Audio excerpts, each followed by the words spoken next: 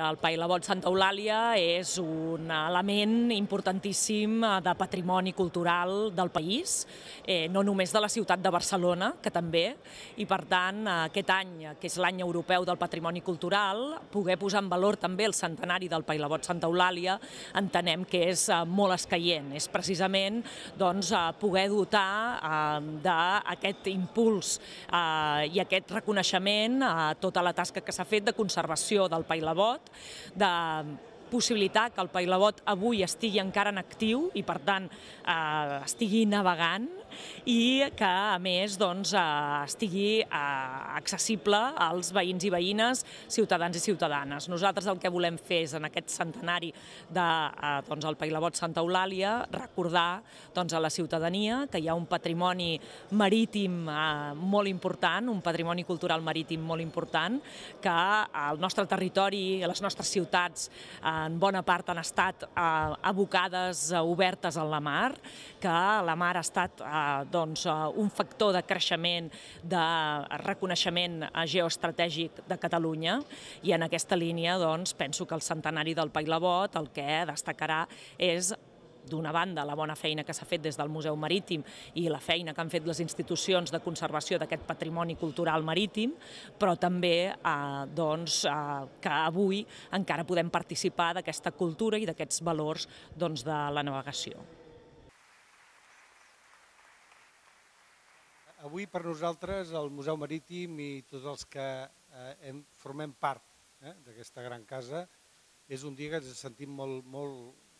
cofois, molt orgullosos i molt contents de poder arribar a fer aquesta eh, celebració del centenari del Pailabot Santa Eulàlia. El Pailabot Santa Eulàlia, com sabeu, bé, eh, eh, ja fa 100 anys,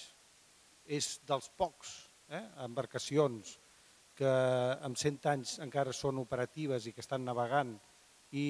i evidentment que està fent ara en aquests moments uns treballs molt diferents al seu origen, eh, que el seu origen era de cabotatge per portar mercaderies, ara porta gent, porta gent curiosa i està fent una gran difusió de tot el que és el patrimoni marítim, eh, sobretot d'aquí a Catalunya, i alhora també ensenya i, i,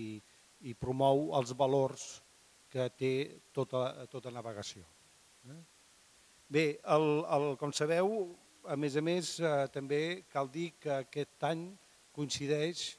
amb la celebració de l'any europeu de patrimoni cultural, que coincideix amb aquest any també, que també és important, per tant, estarà dintre els actes generals que conformen aquest any. Anem a parlar de què farem durant aquest any. L'activitat dels actes començarà el dia 23 de març,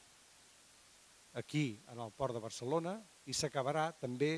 el 12 de febrer de l'any que ve, eh, coincidint amb les festes de Santa Eulàlia, eh, de la patrona o copatrona de la ciutat de Barcelona. En aquest, eh, començarem, com he dit abans, el dia 23 de març, aquí en el moll, eh, en el moll, en el port de Barcelona, concretament tot es farà en el moll de Bosch i Alzina,